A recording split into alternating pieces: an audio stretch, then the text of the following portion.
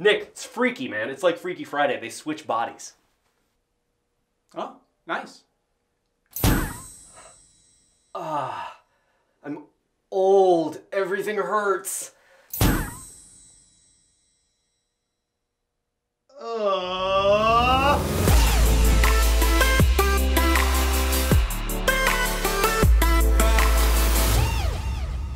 Hello, friends, and welcome to the breakdown for this Friday, November 13th, 2020. Uh, I got one title opening up this week, and it is called Freaky.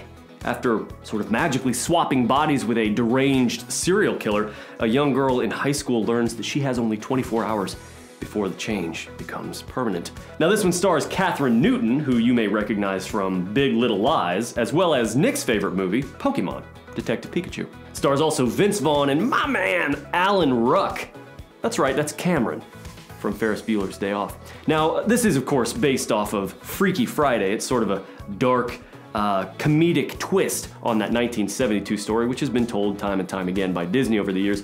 This one is different, though, in that it involves lots of murder and comes out on Friday the 13th, so be cautious, better stay inside.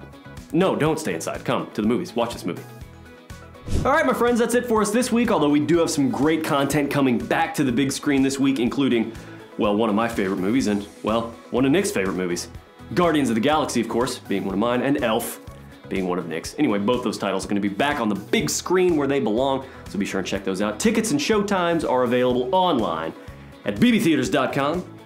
Thanks for watching the breakdown, my friends, and we will see you next week.